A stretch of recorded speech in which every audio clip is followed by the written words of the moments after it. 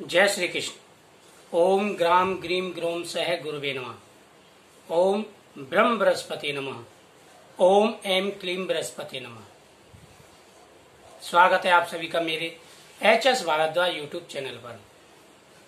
आज मैं आपको छह राशियों की जानकारी दे रहा हूँ।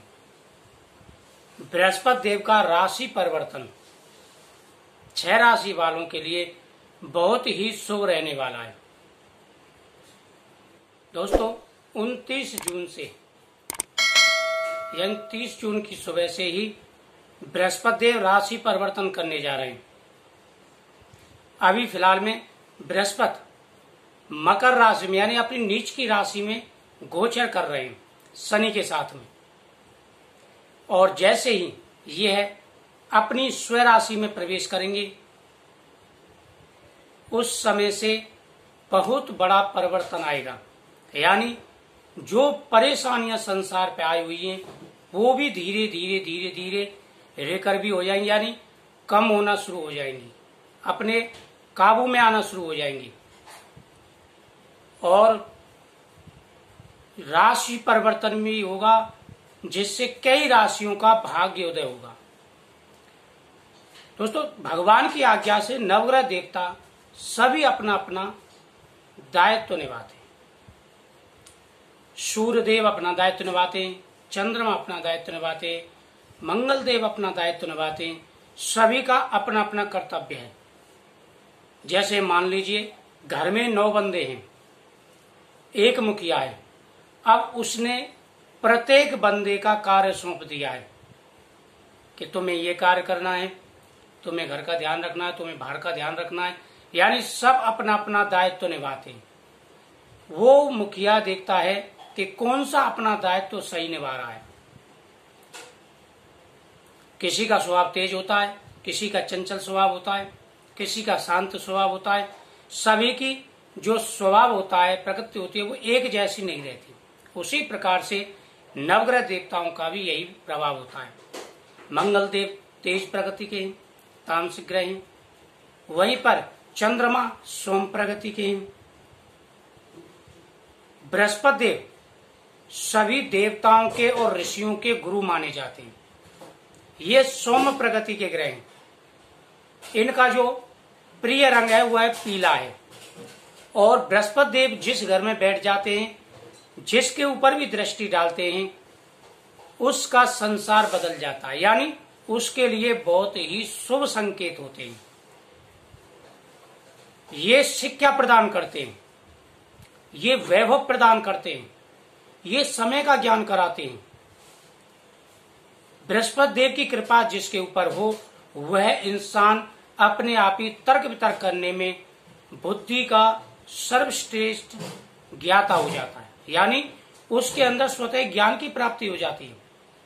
वह ऐसे ऐसे निर्णय करता है जिससे अपना भी भला हो, दूसरों का भी भला हो। समय के अनुसार चलने वाला बंदा हो जाता है। धन की प्राप्ति होती है, संतान की प्राप्ति होती है, बृहस्पति देव की कृपा जिसके ऊपर हो पुत्र की प्राप्ति होती है, धन की प्राप्ति होती है। ऐसे ही छह राशियों के ऊपर इनकी दृष्टि जाने वाली है। सबसे पहले बात करते हैं, इनकी जो दृष्टि पड़ेगी, वो पड़ेगी सिंह राशि पर। सिंह राशि वालों को नौकरी, बिज़नेस, एजुकेशन, हेल्थ हर प्रकार का सुख प्राप्त होगा। विद्या की प्राप्ति होगी, जो विद्यार्थी है उनको विद्या की प्राप्ति होगी। जो नौकरी की तलाश में उनको नौकरी की प्राप्ति होगी। लेकिन एक चीज़ का ध्यान रखना है। जुलाई से लेकर सितंबर तक मिक्स प्रभाव रहेगा।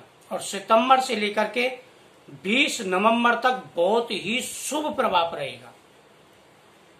20 नवंबर के बाद में फिर गुरु का राशि परिवर्तन होगा। तो जुलाई से लेकर के 20 नवंबर तक ये छह राशि वालों का बहुत अच्छा भाग्य चलने वाला है। तो सिंह राशि वालों को बहुत अच्छे शुभ संकेत मिलेंगे, अचानक लाभ प्राप्त होगा और ऐसे ऐसे कार्य सिद्ध होंगे, आपको उम्मीद भी ना होगी। सूर्यदेव की आराधना करें बृहस्पतिवार को पीली चीज़ का दान करें। दूसरी जो राशि है, मेष राशि। सूर्य, चंद्र, मंगल, ये बृहस्पति देव के मित्र ग्रह हैं। तो मेष राशि जो मंगल की राशि है, और इसका जो है, भाग्य परिवर्तन होगा। बहुत अच्छा भाग्य रहने वाला है। इनको भी हर प्रकार का वैभव और सुख प्राप्त होगा। रुके हुए कार्य संपन्न होंगे, गया हुआ पैसा वापस आएगा। अगर आप किसी चीज़ में पैसा लगा रहे तो उसमें तरक्की मिलेगी। यानी हर प्रकार का जो है लाभ प्राप्त होगा लाभांतिक होंगे आप। हनुमान जी की और विश्व देव की पूजा करते रहें। वीरवार के दिन गुड़ का दान करें, बहुत शुभ रहेगा आपके लिए। तीसरी जो राशि है, वह स्वयं की धनुराशि, जिसमें ये प्रवेश करने वाले बहुत ही अच्छा और सौभाग्य रहने वाला है, क्योंकि स्वयं की राशि है, स्वय राशि है, और मूल त्रिकोण राशि भी है। तो इनको बहुत बड़ा लाभ मिलेगा। बृहस्पतिवार के दिन आप हल्दी का दान करें। नहाते समय ये छह राशि वाले अपने पानी में थोड़ी सी हल्दी डाल करके नहाए वीरवार। बहुत बड़ा लाभ मिलेगा। पुत्र धन की प्राप्ति होगी। बाहर जाने के योग प्राप्त होंगे और बाहर के लोगों के द्वारा आपको लाभ भी प्राप्त होगा। चौथी जो राशि है, वह है मीन राशि। जैसा धनुराशि का भाग्य, उसी प्रकार से मीन राशि का भाग्य। और मीन राशि के ऊपर इनकी दृष्टि रहेगी और मीन राशि के अंदर मंगल का गोचर भी शुरू हो चुका है। तो मीन राशि वालों को अपना भूमि, जायदाद आदि का सुख भी प्राप्त होगा, मकान आदि का। अब तक आप क्राइन पे थे या कैसे भी थे, अब आपका अपना घर, खुद का घर बनने का योग है। विष्णुवार की पूजा पूजा करते रहे और पीला वस्त्र कोई साथ में रखें और वीरवार को केले का दान करें, गरीब बच्चों में। आपको लाभ प्राप्त होगा। अगली जो राशि है, वह है वृश्चिक राशि। वृश्चिक राशि वालों को बहुत बड़ा लाभ मिलने वाला है और वृश्चिक राशि वालों को भी हर प्रकार के सुख प्राप्त होंगे। हर प्रकार के कार्यों में आपको सफलता की प्राप्ति होगी। हनुमान जी की पूजा करें और बृहस्पतिवार को चने का दान करें। भुने हुए चने लें और वीरवार भगवान विष्णु का भोग लगा करके और आप ये प्रसाद बांटे। वृश्चिक राशि वाले, बहुत शुभ रहने वाला है। ऊपर से मंगल भी आपके लिए शुभ है। अगली जो राशि है, कर्क राशि, जिस पर बृहस्पति देव की उच्च दृष्टि पड़ने वाली है और बड़े बड़े कार्य सिद्ध होंगे इनके। पुत्र प्राप्त होगा, धन प्राप्त होगा, पिता का सहयोग प्राप्त होगा। ससुराल पक्ष से भी आपको सुख प्राप्त होगा। हर प्रकार का सुख और वैभव आपको प्राप्त होने वाला है। शिव जी की पूजा करते रहे। बहुत ज़रूरी आपके लिए भगवान शिव जी की पूजा। ये छह राशि थी। अब मैं आपको तीन राशि सम बता रहा हूँ, जिन पर सम प्रभाव रहेगा इनका। न ज़्यादा अशुभ न ज़्यादा शुभ कुंभ राशि बहुत बढ़िया और सम प्रभाव रहने वाला है। कुंभ राशि वाले विश्वदेव की पूजा करें और शनिदेव की पूजा करते रहें। अगली जो राशि है, वह है कन्या राशि। कन्या राशि पर सम प्रभाव रहने वाला है। और यहाँ तक है अच्छा ही प्रभाव रहने वाला है।